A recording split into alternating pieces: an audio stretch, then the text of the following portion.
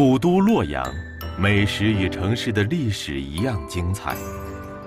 洛阳人怀着对美味的追求，不断寻找着变化的可能，于是妙成为洛阳美食的代名词。英雄不问来处，美味不论出身。绿豆、红薯、糖，是最为常见的食材。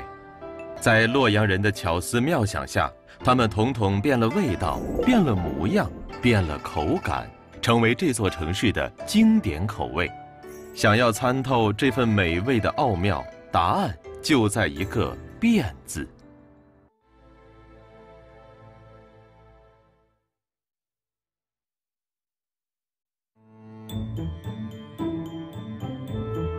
煮面最常规的做法是用水煮。但唯独在洛阳人看来，用酸爽的豆浆煮面才是一碗面的正确打开方式。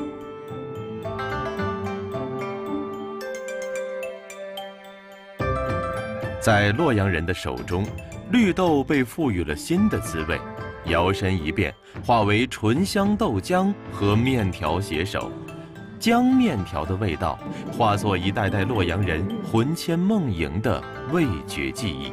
用洛阳话说，江面条中不中？中。不吃的话就香的话。江面条凉吗？这份味觉体验可能让第一次吃到它的外地人有些难以接受。人们常说，洛阳有一怪，面条放坏才来卖。就是这碗放坏的面条，让洛阳人爱了它一辈子。其实。让人误以为面条放坏的味道是煮面的豆浆发酵后散发出的酸味。洛阳人爱这妙味，爱到骨子里。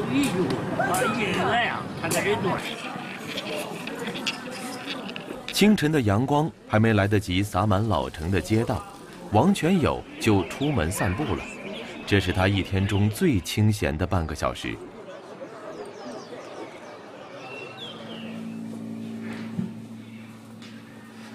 小巷中的老姜房，隐藏着姜面条美味的终极密码。作为姜房的第三代传人，王全友忙碌的一天开始了。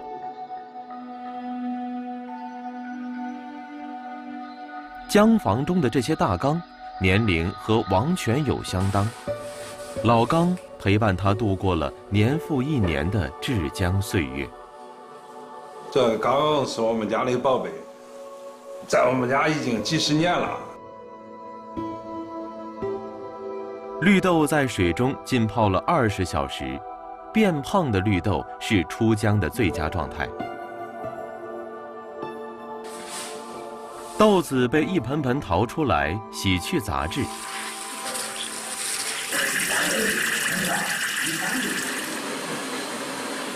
洗干净的绿豆经过研磨，即将改头换面。然而粗磨豆子才仅仅是制浆的开幕式。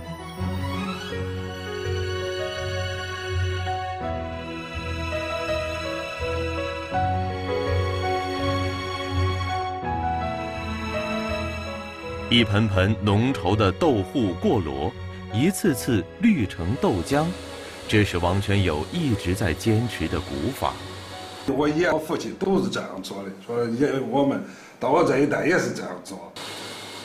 有一口缸里永远放着前一天留下的老姜，这是绿豆完成滋味变化的引子。这些引子要加入到新磨的豆浆中，水和引子的比例是王全友从不外传的秘密。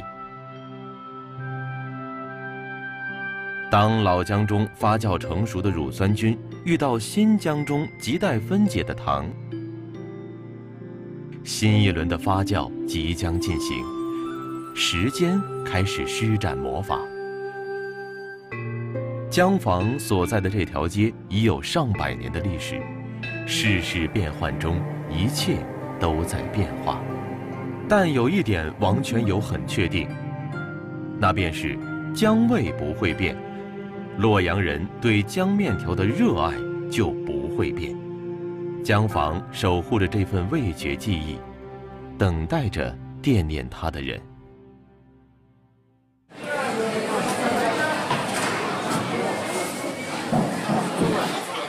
一大早，司马玲就去买菜了，一把韭菜，几根芹菜，两根胡萝卜，再来一颗大白菜，这样的经典搭配，老洛阳人一眼就能看出是要做什么。现在中午吃江饭了吧？洛阳人习惯把姜面条叫姜饭，要吃姜饭，姜可是主角。来了啊！好，今天吃姜饭啊，要多少？啊，火大吗？好，不要太酸口。五十五块钱。好，交给你了。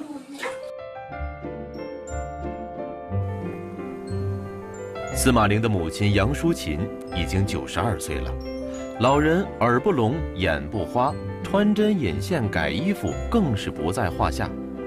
老人是姜面条的忠实粉丝，每年洛阳举办民间姜面条大赛，他总不会缺席。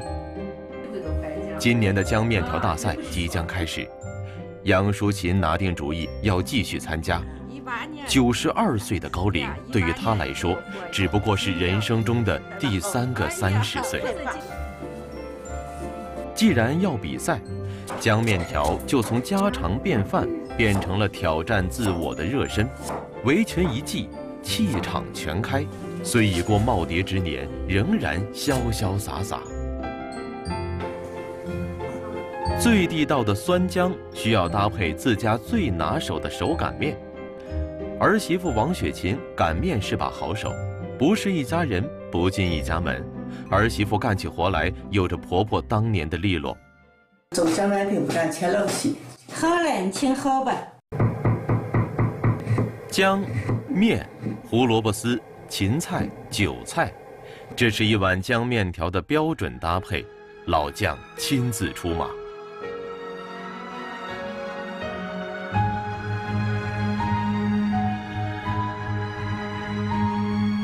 何时下面？何时放菜？何时把面捞起？每个时刻都拿捏得刚刚好。这是杨淑琴一辈子做浆面条的心法。酸姜与爽滑筋道的手擀面一起在锅中熬煮，酸姜和面条相知相识，酸味并不强势，微酸清爽，姜味香浓醇厚，余韵悠长。加入的蔬菜既可以补充膳食纤维，又带来了清新气息，一碗浆面条顿时有了色彩，迎来了它的春天。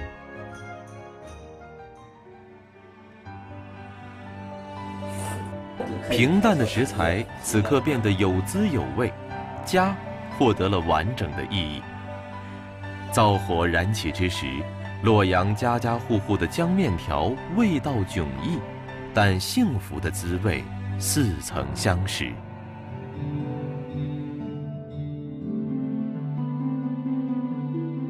洛阳地处中原腹地，少雨而干燥，自古以来，洛阳人的食材清单并不丰富。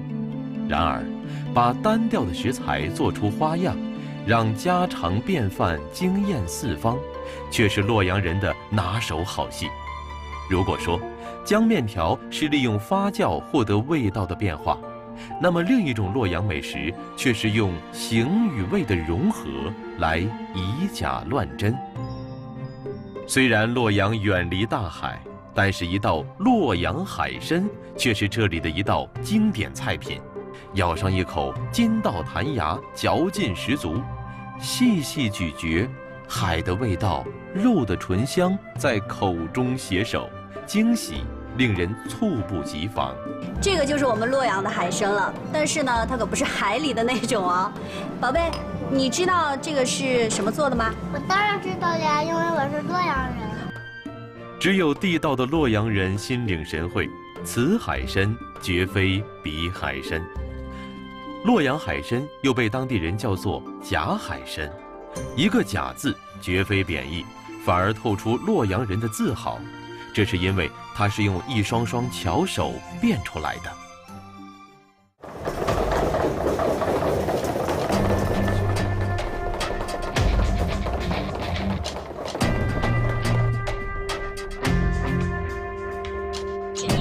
道路继续行驶。今天师傅叶宇舟带着徒弟李亚辉离开厨房前往五十公里外的田地里挑选做洛阳海参的食材。他想让徒弟明白，做好一名厨师的讲究不仅在厨房里，更在厨房外。教练，你看，你看，这整个收红薯场面，啊，以前呢，以前我们小的时候有红薯情节，老年人说啊，红薯汤、红薯馍，离了红薯不能活。做了三十年的厨师，叶宇洲最擅长的就是为每一道菜寻找最合适的食材。这片土地便是洛阳海参孕育成长的海洋。下着红薯粉，来尝尝。大一点。叶宇洲要找的红薯叫吉薯二十五号，它甜度不大，但淀粉含量极高，是做洛阳海参的上好材料。在物资匮乏的年代，红薯是洛阳人最重要的主粮之一。如今，它却有着变化无穷的潜力。红薯被打碎成浆，沉淀出湿淀粉，装入袋子沥干水分后晒干。晒好的淀粉细腻白皙，遇水成团。面团放入漏勺后呈条状，流入热水中凝固成粉条。紧接着用冷水降温，一冷一热间激发出爽弹口感。冷却后的湿粉条用竹竿缠绕，放在室外沐浴阳光。至此，红薯完成了它的初级变身。看着一根根红薯粉条随风飘荡，叶宇洲知道，接下来的变身之旅要靠自己和徒弟在厨房中施展魔法了。红薯粉条是领衔主演。一根洛阳海参的鲜美，还需要木耳的爽脆、虾皮的鲜甜、五花肉的醇香来共同成全。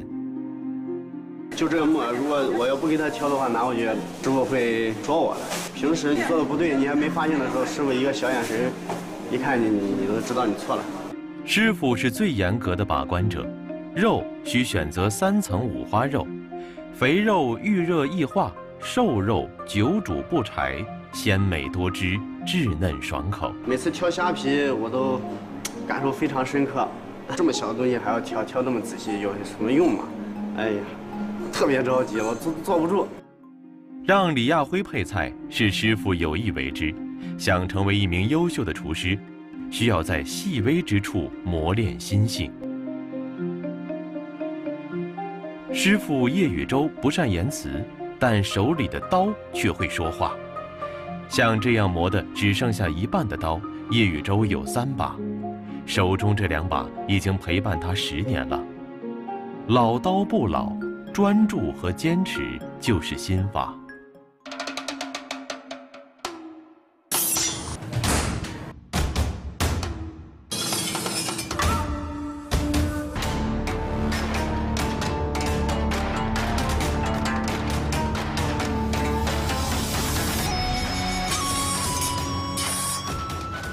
所有食材在菜板上迎来疾风骤雨，高低交错间打出律动的节奏。师傅雷厉风行，徒弟看在眼里，记在心上。红薯粉条、木耳、虾皮、肉泥在盆中缠绵切磋，但滋味仍需点化。洛阳人对胡椒粉的味道有着独特的爱恋。胡椒粉的加盟，让人吃辣不见辣，增添惊喜；老抽上色，增加海参灵性。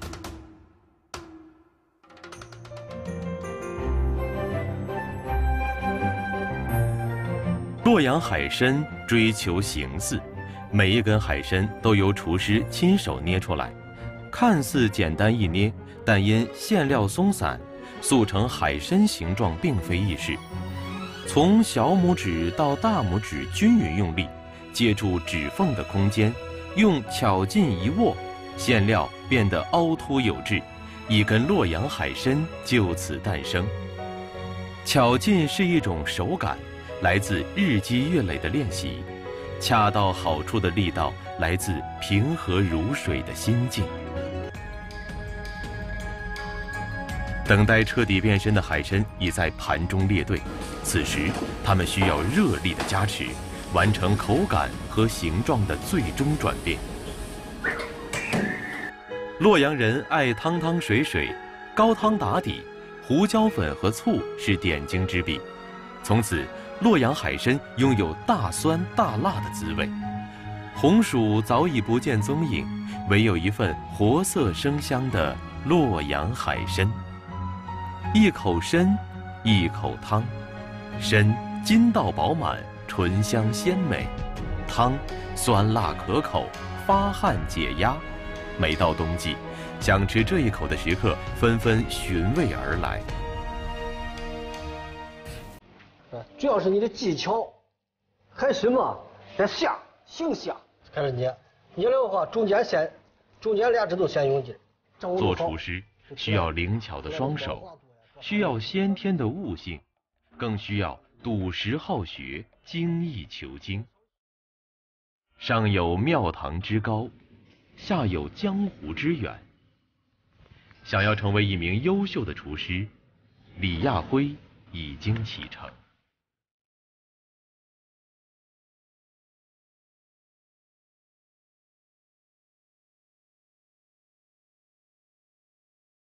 在中国人的饮食传统中，美食之美从来不拘泥于食物本身。从眼到口，从口到心，食物与身体的融合，时常以变为桥梁。最平常的食材，不可思议的模样，以千回百转的风味挑动味蕾，口感变化的惊喜，常常伴随甜蜜而来。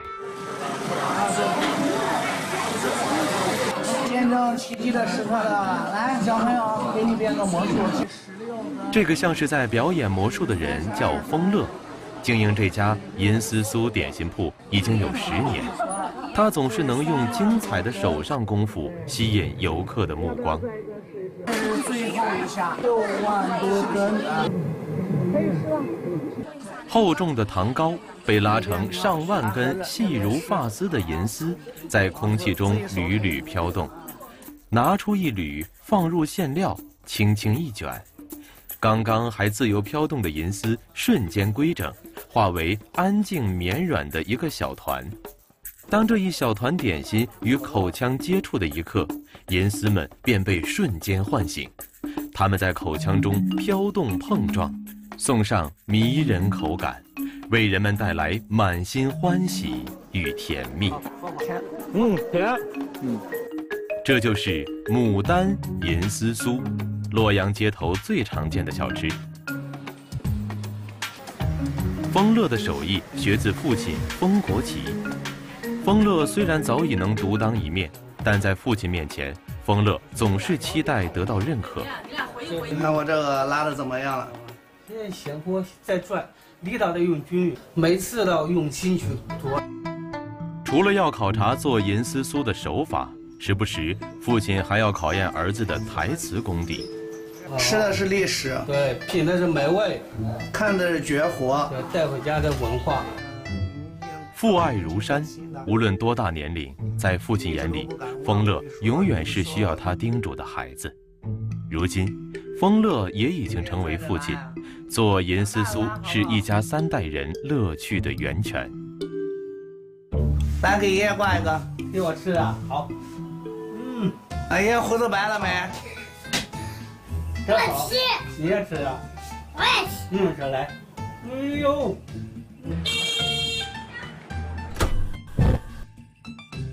从一袋糖变成一把银丝酥，看起来简单，其实大有门道。美味总是需要等待，糖糕需要熬制四个小时，这个过程需修炼火眼金睛。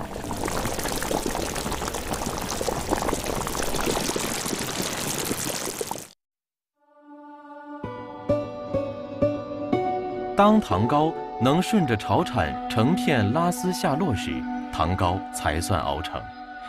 用手指轻轻一弹即破，美妙不可言说。这需要细致的观察，万万不可错过这晶莹剔透的一刻，否则糖糕会变脆发苦，功亏一篑。熬好的糖糕温度达到一百五十度，需将温度降下来才可以拉丝。风乐拉糖，一怕冷，二怕风。冷风会使糖糕迅速变硬，失去韧性。阳光正好，微风不燥，这样的天气是拉银丝酥的好日子。糖糕质地柔软，色泽温润，犹如蜜蜡一般。糖的温度大概有六十多度，呃，挺烫手的。你像我们这个就是经常练出来的，平常人的话拿着的话是肯定不行的。银丝酥因它富于变化而美妙。变化的背后需要一双巧手。丰乐的手因为常年接触热烫的糖糕，变得厚实而耐烫。糖糕打圈，揉成手镯形状且不下坠时即可拉丝。拉丝的过程在这个瓷盆中进行。糖糕如何从一根到万缕？盆里装着这道数学题的答案。这片雪白色的盆中世界由藕粉铺就，藕粉能起到阻隔作用，赋予银丝酥根根分明、雪白轻盈的特质。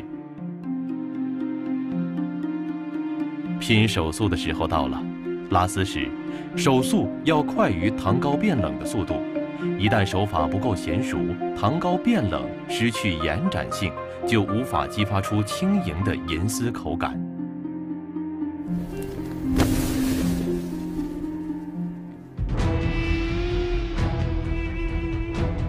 糖丝在藕粉中数量倍增，阻力越来越大，较劲的时候到了。气沉丹田，重心放于右脚，全身发力。但当力量汇集于手上时，却急需控制。屏息凝神，慢慢释放力量，力度要均匀，刚中带柔，刚柔并济。每到这个关键时刻。当丰乐的脸色由白变红，一缕银丝酥便可大功告成。现在手里面汗太多了，呃，呃，必须要换手套，要不然的话，这手套里面的水会流到粉里面。你看我这个手现在，你看泡过之后是又白又嫩的。把糖做出千丝万缕的形变，仅仅是丰乐的第一步。让银丝酥饱含洛阳的味道，才是丰乐下功夫的关键。提到洛阳，便会让人想到牡丹。牡丹是花中之王，色泽艳丽，富丽华贵。在洛阳，牡丹不仅可以赏心悦目。其中的丹凤白牡丹是经过认证的可食用牡丹种类，人们经常把这种牡丹的花瓣烤制后作为点心的辅料。炒熟的核桃、芝麻、花生三种醇香一同研磨，香味倍增。花瓣轻薄易碎，最后加入，醇香之余一抹花香点缀，牡丹从可看变为可尝。跨越感官，在口中绽放。牡丹的加盟让银丝酥口感瞬间丰富起来，这是专属于洛阳的甜蜜。夜幕降临，洛阳的老街灯火通明，总有人循着牡丹银丝酥而来，千丝万缕缠绕着不眠的夜晚。丰乐一家人又迎来了一天最忙碌的时刻。当年，父亲把这个甜蜜的事业交到丰乐手中，希望他能有一技之长。如今，一家人相伴，并肩忙碌，所谓甜蜜，尽在于心。绿豆的滋味穿越时间，变成难以忘怀的姜味。红薯的味道跨越山海，拥有了海参的鲜美。牡丹藏入糖中，在口中绽放香甜。每一种味道从平常变为惊艳，从舌尖滑入心底。在美食的世界中，洛阳人求变，这是另辟蹊径的匠心，也是生活的智慧。